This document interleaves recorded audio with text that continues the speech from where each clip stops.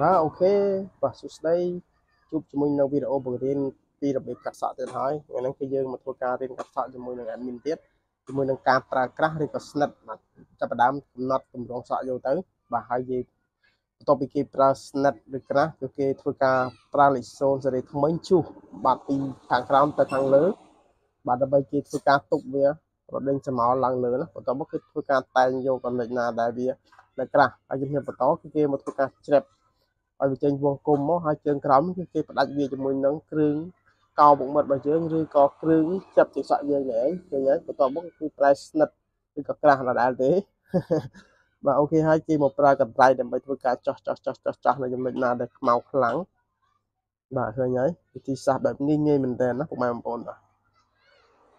បាទវិធីសាស្ត្រងាយប៉ុន្តែវាវាវិធីសាស្ត្រមួយដែលពិបាកក្នុងការ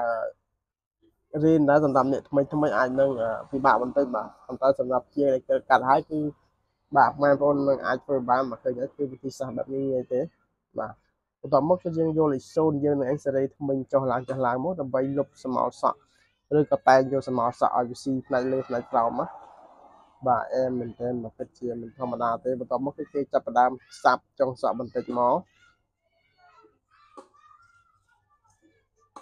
បាទសាប់ចុងសក់បន្តិចមកហើយបន្ទាប់មកគេមកធ្វើការអ៊ុតណា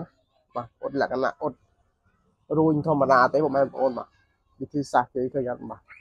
ពិតជាអែមមែនតើបាទកាត់ឲ្យលោកពូភ្នែក4បាទបាទវីដេអូនេះគឺជាវីដេអូចិត្តចិនទេបាទសូមអធិស្ឋានផងតែបដើមមូសក់ចូលគ្នាមកអត់សាសក់ដូចកណ្ដាលគឺគេនឹងធ្វើការអ៊ុតវាជាលក្ខណៈអ៊ុតរួញណាបាទតែបដើមមូគៀបមូគៀបមក បាទ